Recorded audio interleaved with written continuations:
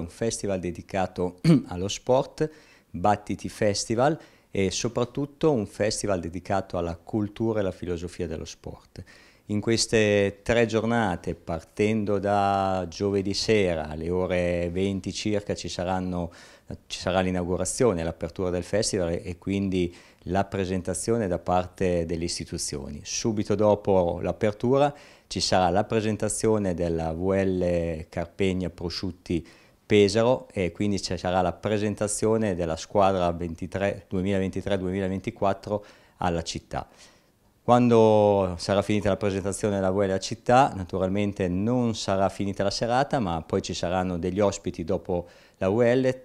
uno di questi sarà Andrea Lanfri, che è uno scalatore, un ragazzo che ha subito un'amputazione delle gambe di sette dita delle mani causa una meningite acuta e si è riabilitato per ritornare alla vita normale e non solo perché in queste condizioni con delle protesi alle gambe è andato a scalare l'Everest. Tutto poi proseguirà venerdì 22, alla mattina ci sarà ospite al Parco Mirafiori il Liceo Scientifico Marconi indirizzo sportivo dove i ragazzi eh, presenteranno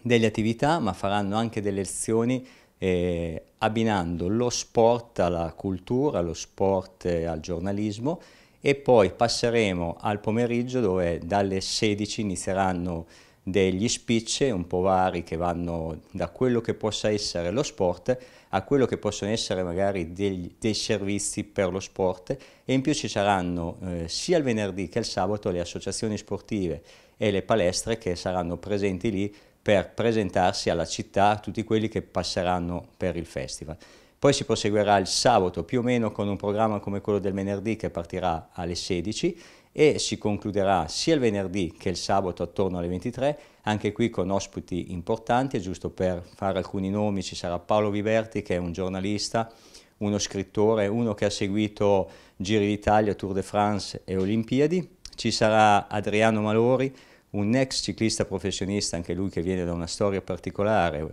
Quindi eh, capite come all'interno di questi tre giorni noi vogliamo portare esperienze di sport, esperienze di, di vita e esperienze di come vivere il ciclismo eh, oppure lo sport a 360 gradi. E ci saranno poi due atleti eh, che fanno sport eh, ultra cycling proprio per portare esperienze di persone che vivono lo sport per dire giorno e notte cercando di fare imprese che non sono imprese per vincere una gara o imprese per vincere una partita, ma sono imprese per loro stesse, imprese che poi vogliono condividere con tante persone per portare un messaggio, un messaggio che possa essere motivazionale, un messaggio di crescita, un messaggio culturale e un messaggio di condivisione di queste esperienze che sono esperienze che loro vivono per loro, per la loro famiglia, ma per tutte quelle persone che poi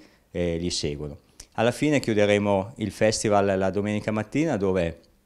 la Croce Rossa organizzerà una campestre e, e noi come Fisioradi Medical Center organizzeremo una pedalata, una pedalata di un paio d'ore aperta a tutti, non agonistica, solo per ospiti, quindi chi voglia partecipare si può iscrivere da prima del festival o durante il festival allo stand di Fisioradi Medical Center e poi chiuderemo al rientro della pedalata con un buffet e un bicchiere di birra e il festival verrà chiuso alle ore 12 con, visto che